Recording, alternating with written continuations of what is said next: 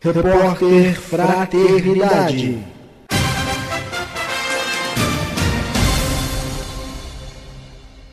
André Trigueiro é jornalista, palestrante e escritor espírita. Tem alguns livros publicados sobre sustentabilidade e também prevenção ao suicídio e valorização da vida. E está no Congresso Espírita de Uberlândia, o Céu.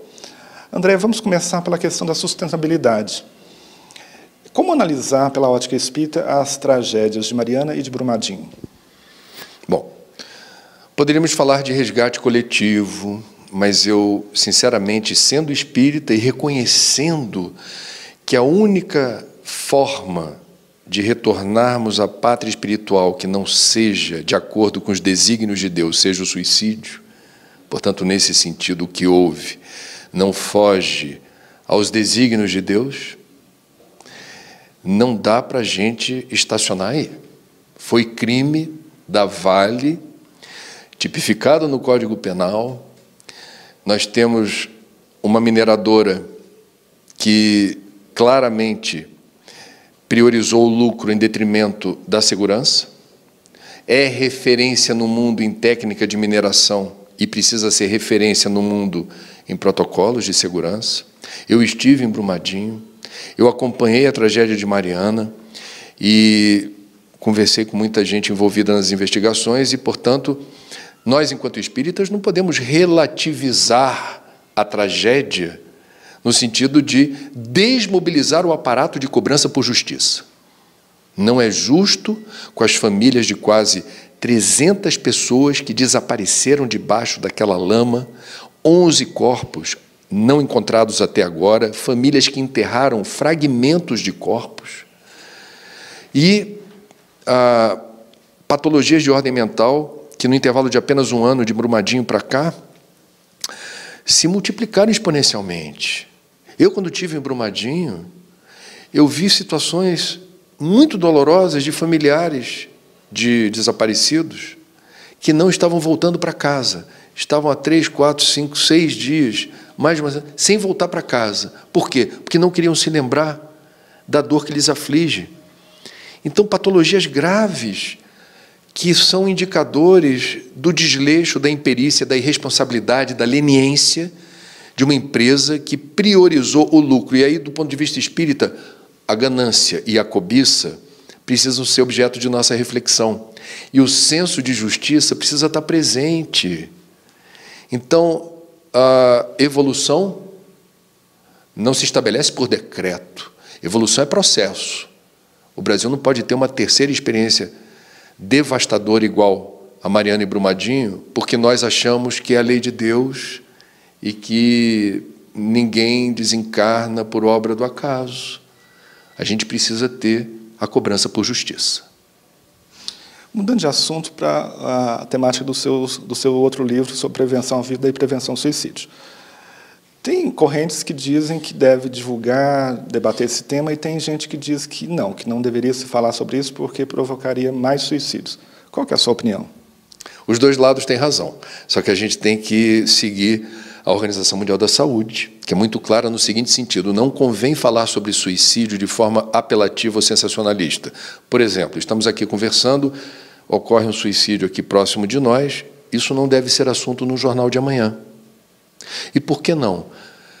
Porque existe um efeito conhecido como efeito Werther, que inspirado há quase 300 anos atrás o famoso escritor alemão Goethe lançou um romance chamado Os Sofrimentos do Jovem Werther. Era um romance, obra de ficção. É, eu não quero dar spoiler. Para quem não leu ainda, né? O fato é que esse jovem apaixonado por uma moça não consegue, ah, no final da história, ficar em definitivo com a sua amada e se mata. O que se verificou nos meses subsequentes ao lançamento dessa obra na Alemanha, que foi traduzida para vários idiomas e foi um best-seller, não se usava essa expressão à época, na Europa, foi a repetição da cena final do filme. Vários jovens do sexo masculino empregando o mesmo método de Werther para se matar. Numa época que achava-se que era lindo morrer de amor. Esse é o efeito mimético. Uma reportagem que fala sobre suicídio em Uberlândia, a título de informar as pessoas: olha, houve um caso de suicídio ontem. A Organização Mundial da Saúde acha que reportar casos de suicídio no varejo, como dessa forma, podem fragilizar ainda mais pessoas que estão em sofrimento psíquico emocional. Porque elas podem, ao ler a notícia, entender que aquilo eventualmente é uma opção, é uma alternativa para mim. Ah, então não se fala de suicídio? Fala. Fala como?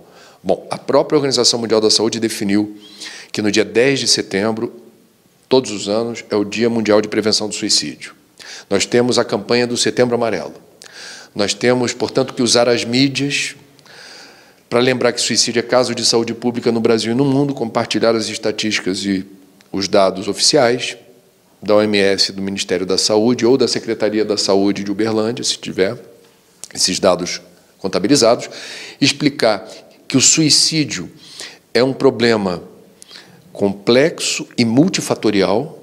Nós temos várias questões associadas ao suicídio, não é tão simples falar por que uma pessoa decide se matar. Explicar quais são os principais fatores de risco, principalmente a depressão.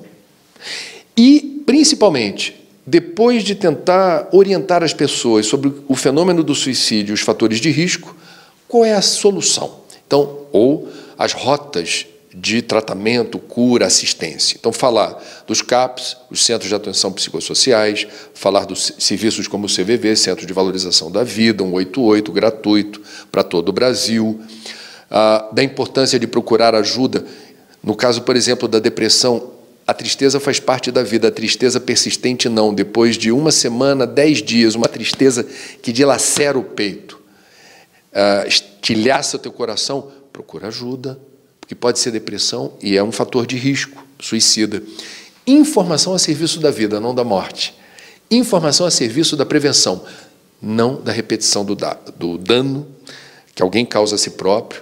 E o Espiritismo é claro na abordagem desse tema, mostrando que em nenhuma hipótese o suicídio significa alívio ou solução para os problemas. Como que os centros espíritas poderiam atuar mais efetivamente nessa campanha de prevenção ao suicídio? Em primeiro lugar, não repetindo a inverdade de que basta frequentar um centro espírita para se livrar de suicídio. Ah, vamos lá. Deixando claro o que, por exemplo, Divaldo Pereira Franco, em palestras, mas há muito tempo vem apontando como algo importante para a compreensão dos espíritas no protocolo de resposta à depressão ou ao risco suicida. Não menosprezar a medicina da terra. O Espiritismo é força auxiliar, ajuda muito. Complementar. Mas não resolve sozinho. Ah, no ano passado, eu fiz uma reportagem para a TV aberta longa, de quatro minutos, sobre depressão e transtorno de ansiedade. Sugeri à TV que a gente ouvisse não só especialistas, mas alguém que estivesse sofrendo o problema, mas já tivesse na ascendente, já procurou ajuda e está se sentindo melhor. Sugeri o padre Fábio de Mello, porque ele é muito conhecido, famoso, e compartilhou publicamente o problema que sofreu. Ele teve pânico, transtorno, e depois uma depressão severa.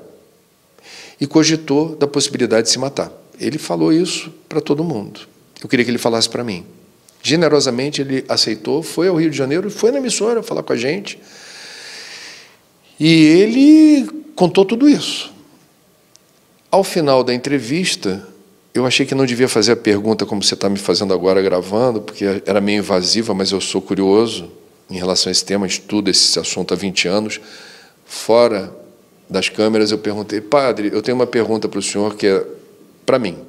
Isso eu vou dizer aqui é porque ele me autorizou. O senhor é padre. O senhor, na tradição católica, é um sacerdote que faz a mediação com andar de cima, com Deus. Onde estava Deus no auge da sua crise, quando o senhor pensou em se matar? E ele, de bate pronto, assim, serenamente disse: André, Deus estava onde sempre esteve. Eu é que não conseguia acessá-lo. Então veja, não estamos aqui falando que pessoas de fé estão blindadas ou imunes ao risco suicida. militares forjados na bravura, na valentia, na coragem, no destemor. Não, eu sou super-homem. Não é. Está, aliás, nas fileiras militares, as estatísticas de suicídio são extremamente preocupantes entre médicos, principalmente aqueles que dominam a farmacologia, a manipulação de substâncias químicas dopantes, etc. A estatística de suicídio já entre estudantes de medicina é preocupante. Então veja, nós estamos aqui reconhecendo o mérito da medicina da terra a partir do desconforto de uma pessoa em relação à vida, ajudar, e o espiritismo como força auxiliar da cura, através da fluidoterapia, do passe magnético, removendo detritos mentais, miasmas, formas de pensamento, que a pessoa, quando está de mal com a vida, estabelece uma sintonia ruim e se auto-boicota. A aura do depressivo é cinza, é uma existência sem vida. Então a gente precisa trabalhar uh, o campo energético. E a gente precisa, eventualmente, uh, sugerir que a pessoa também se instrua. Por exemplo, se ela aceitar ler a série psicológica de Divaldo, ditada por Joana, vai ver que em parte dos casos, segundo Joana, em boa parte dos casos, as matrizes da depressão estão esculpidas no perispírito da alma culpada. Todos nós erramos no passado. Do contrário, não estaríamos aqui. Entretanto, às vezes os erros do passado, eles são uh, eles se transformam em culpa. E a culpa vulnerabiliza, fragiliza o teu psiquismo. Então é como se as pessoas muito culpadas tivessem as sementes da depressão e o potencial de desenvolver o transtorno de humor. Então, essas informações, elas vão construindo, elas vão galvanizando um repertório de lucidez e de compreensão do problema que dependendo dos fatores de temperatura e pressão, em algum momento, você consegue lidar melhor com o problema. Tem um livro, que não é espírita, mas é muito bom, de um colega jornalista do New York Times, Andrew Solomon. Vendeu muito no Brasil, dessa grossura, chamado O Demônio do Meio-Dia. E ele fala da depressão em primeira pessoa, por isso que o livro vendeu muito. Ele é escreve muito bem, é muito inteligente, falou sobre um problema que lhe acometeu não existe cura para depressão, existe tratamento. E ele tem uma analogia no livro que me lembra o Divaldo quando fala da angina, que o Divaldo tem. Ele diz assim: Eu estou cheio de problema na coluna, angina, coisa e tal. Então, quando a angina aperta o peito, eu estou cheio de compromisso. Eu converso com ela. Angina, hoje não, me dá essa trégua. Aperta depois. Eu estou com a agenda tão cheia. Ele conversa. É divertidíssimo, Divaldo, falar sobre isso. O Andrew Solomon fala: a depressão é minha companheira de dança, está sempre dançando comigo, mas quem conduz o passo e a dança sou eu. Então, o objetivo da pessoa com depressão não deveria ser propriamente terminar a depressão, mas dizer assim: ok, não está 100%, mas está mais de 50%. E se está mais de 50%, estou no lucro. E a vida segue e eu estou pronto para isso para ir para o trabalho, para pegar meu filho na escola, para ler esse livro. Eu não vou ficar com a pretensão do 100%, porque aí eu só estou olhando para o meu umbigo. E vamos combinar? Você é 100%? Nem eu. Alguém conhece uma pessoa 100% do ponto de vista de não ter nenhuma angústia, nenhuma agonia, nenhum momento de desespero? Somos falíveis, somos imperfeitos. E o depressivo também deve ter essa consciência de que não ambicione a pureza da saúde absoluta, não. Seja feliz por viver mais um dia. Para a gente encerrar a nossa entrevista, defina ou numa palavra ou numa frase o que é vida para você. Vida é bênção, vida é privilégio. Vida é a capacidade de desfrutar, curtir, aproveitar, ter prazer e aprender com a dor e o sofrimento que tanto a dor quanto o sofrimento não são contra nós, são convites à evolução. Quando a gente tem essa compreensão, a gente reduz o estoque ou a susceptibilidade para revolta, para indignação ou para incompreensão de Deus. A gente está aqui para aprender a ser gente, gente que sabe amar. A dor e o sofrimento nos ensinam a ser gente e a amar. Ok. Obrigado, André, por essa entrevista.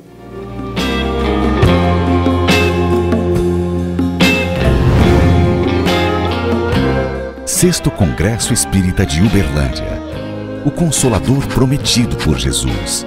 Dias 22, 23 e 24 de janeiro de 2021. Um novo local para maior conexão com Deus. Espaço de evento Palácio de Cristal. Em meio à natureza, o retrato de uma colônia espiritual aqui na Terra, como nosso lar, morada nova e outras colônias espirituais, para aproveitarmos os três dias de aprendizado e convivência com Jesus. Um evento para a família, com espaço para jovens e crianças. Nunca temais. Eu seguirei convosco e vos aguardarei por todo o sempre. Sexto Congresso Espírita de Uberlândia, o Consolador prometido por Jesus. Aguardamos você. Realização Web Rádio Fraternidade.